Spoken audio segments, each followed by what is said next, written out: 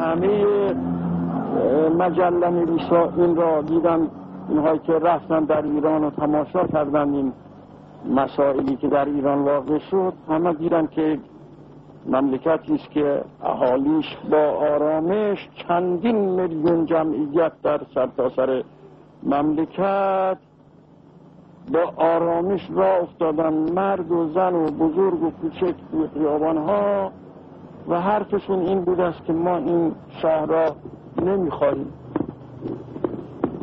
ما فرض می‌کنیم که شاه خیلی هم مرد صالحی فرض کنید باشه.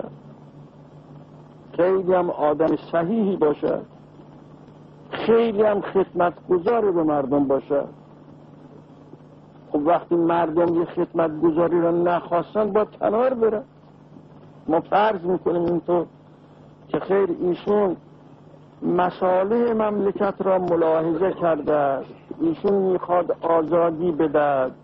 ایشون می‌خواد مملکت را مستقل کند. ایشون می‌خواد مملکت را به تمدن نو برسوند همه اینا را ما فرض می‌کنیم صحیح می‌خواد یه همچه کارا را بکنه.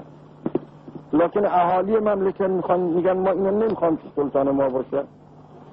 سرنوشت اهالی مملکت با خودشونه.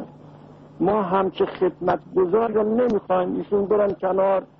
ما خودمون یه خدمت گذار دیگه جاش می‌ذاریم ما فرض می‌کنیم اگر ایشون اون هم بود اون طورم بود مثل سایر مثلا انسانها یک انسانیتی داشت باز هم اهالی مملکت حق داشتن به اینکه بگن که ما این خدمت گذار را این آدم بسیار صالح خوب را که می‌خواد مملکت ما را بهشت برین بکند.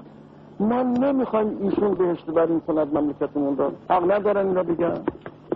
حقوق بشر این نیست که هر کسی هر بشری حق دارد که سرنوشت خودش را خودش تعیین کند. اینا می‌خواد سرنوشت خودشون را خودشون تعیین کند و این آقای خدمت گذار را نمی‌خواد